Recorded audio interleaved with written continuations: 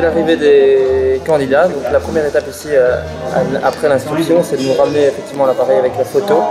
Et je prends une photo effectivement de celle-ci avec la référence et ensuite il passe à l'étape d'après qui consiste simplement à noter l'heure d'arrivée, la référence et la suite des étapes. Et effectivement, on termine par le choix de la photo à 20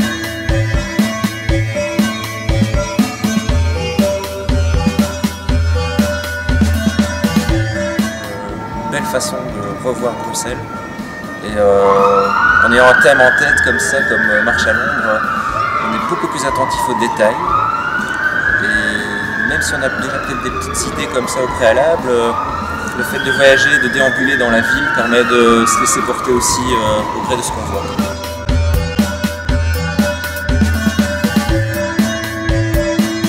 c'est une euh, très bonne idée. Euh, à des personnes comme moi qui n'ont pas l'habitude, euh, qui font des photos pour le plaisir, de voir un petit peu ce qu'elles peuvent réaliser dans un concours comme celui-ci, étant donné qu'on ne sait pas du tout à quel niveau on se situe dans, la prise de photos.